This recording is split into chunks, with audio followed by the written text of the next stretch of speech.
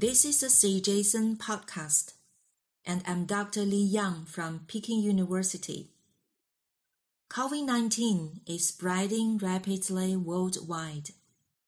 As an emerging infectious disease, there's a paucity of data on the full picture of kidney involvement in this disease. Whether kidney injury is associated with disease progression is unknown. We carried out a retrospective study including two representative cohorts. Cohort 1 involved 138 severe COVID 19 patients from Wuhan, the epicenter in China.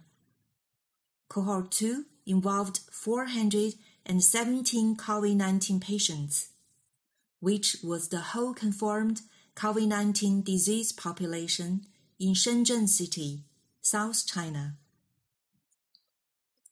Kidney injury was defined as the presence of hematuria, proteinuria, pre-hospital AKI, or in-hospital AKI.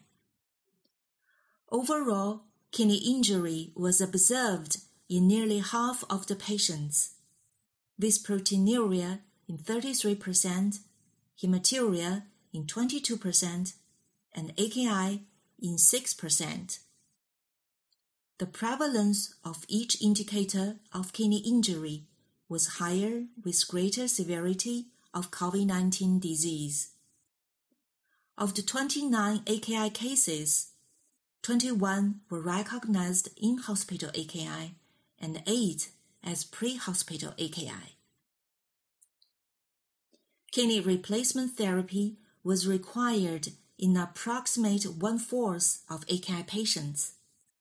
Altogether, 5% of the COVID 19 patients died at the end of follow up, while in the subgroup with AKI, the death rate was 41%. Multivariable Cox regression analysis showed proteinuria, hematuria, and in hospital AKI were associated with death among COVID 19 patients proteinuria and hematuria were associated with progression to critical illness among non-critical cases at admission.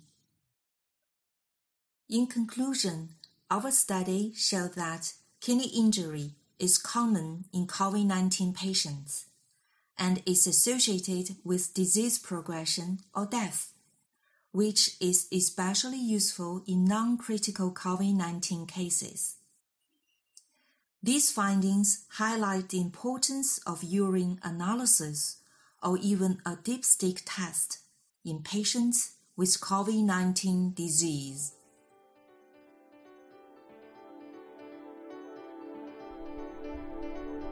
This podcast is copyrighted by the American Society of Nephrology, all rights reserved. All content in this podcast is for informational purposes only and is not intended to be medical advice. This podcast should not be used in a medical emergency or for the diagnosis or treatment of any medical condition. Please consult your doctor or other qualified healthcare provider if you have any questions about any medical condition or before taking any drug, changing your diet, or commencing or discontinuing any course of treatment. Thank you for listening to this podcast from the American Society of Nephrology.